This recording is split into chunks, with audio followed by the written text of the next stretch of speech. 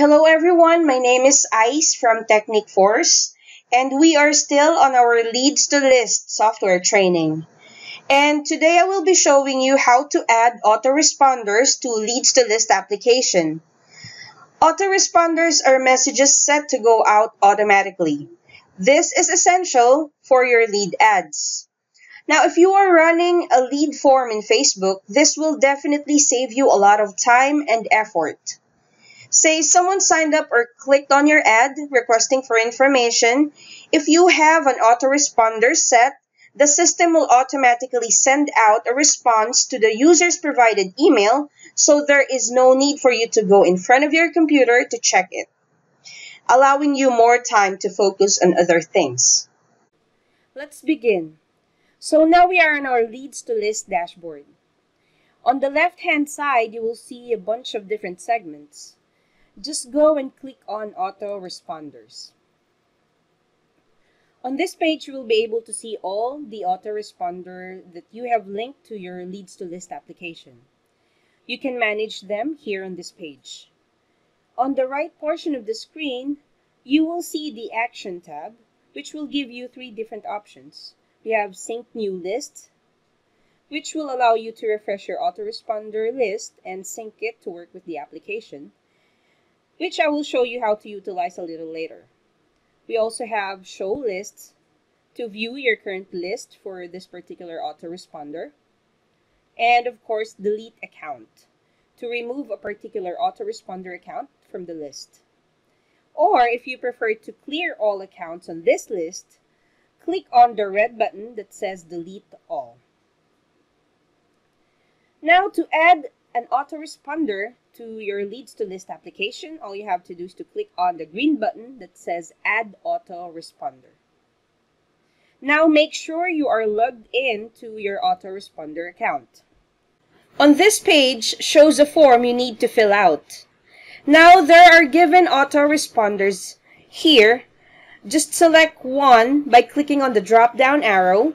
Scroll down and choose the autoresponder account you are using now let's say I am using MailChimp. Just click on that one and it will then ask for an API key. To obtain this, go to your MailChimp account where you're currently logged in. Click on your profile name on the upper right corner of the screen. Then choose Profile. As you can see, you are directed to a page about the details you have registered with MailChimp when you sign up. Now click on Extras to reveal more options. Then select API keys. Scroll down and look for the given API key for your application or click on Create a Key so the system will generate a new one. Now, here is where you will find your API key. Just copy this, then go back to your Leads2List application and paste it in the API key field. Now, after that, just click on Authorize. As you can see, the list has already been updated showing the autoresponder account we have just added. Now, I will show you how Sync New List tab is working. These are actually the list you have created on your autoresponder account that separates each entry of incoming leads. That way, the system will be able to distinguish each lead depending on the category you have set it to. It could be according to the customer's age bracket, location, etc.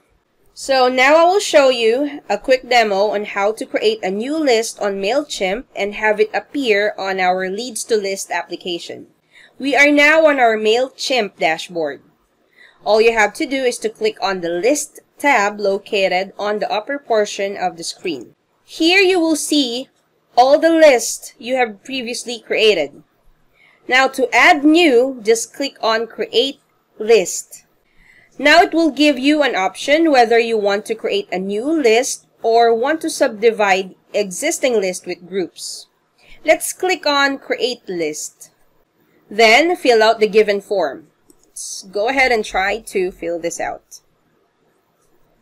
Provide the list name um, the default email address from that will appear on the email and the default name as well.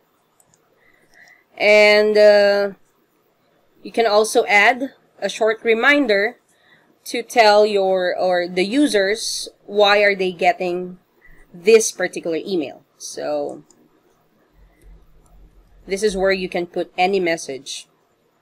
Now, after completing the form, just scroll down and click on Save.